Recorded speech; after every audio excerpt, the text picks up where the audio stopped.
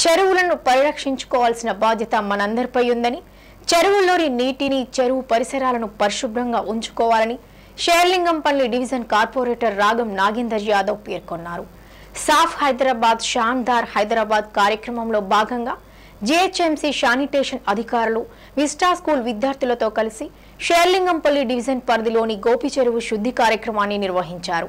Corporator Ragam Nagender Yadav Serilingampally circle deputy commissioner Venkanna school విద్యార్థులతో కలిసి కోనేరులోకి వచ్చి చేరిన చెత్తా చెదారం ప్లాస్టిక్ వస్తువులు వ్యర్థ పదార్థాలతో పాటు బాటిళ్ళను తొలగించారు.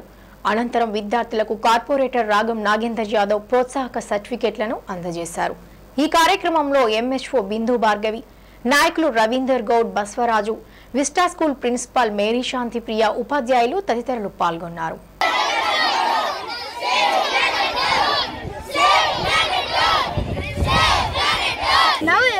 Is like just wasting water as if you get it uh, like it falls out of the sky. Yeah, we get rains, but nowadays there is a lot of water scarcity. So we have to take an initiative of saving water.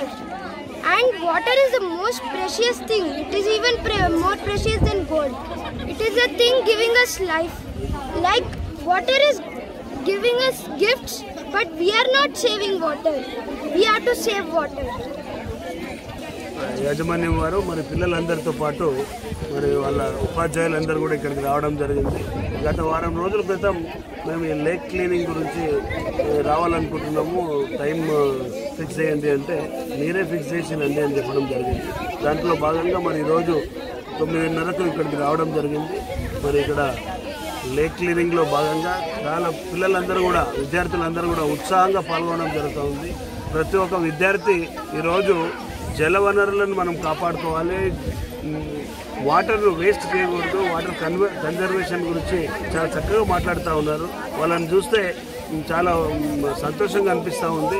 ప్రతి విద్యార్థి కూడా clean clean and green కార్యక్రమంలో భాగంగా మరి lake క్లీన్తో పాటు వాళ్ళు ముఖ్యంగా జల వనరులను మనం కాపాడుకోవాలి.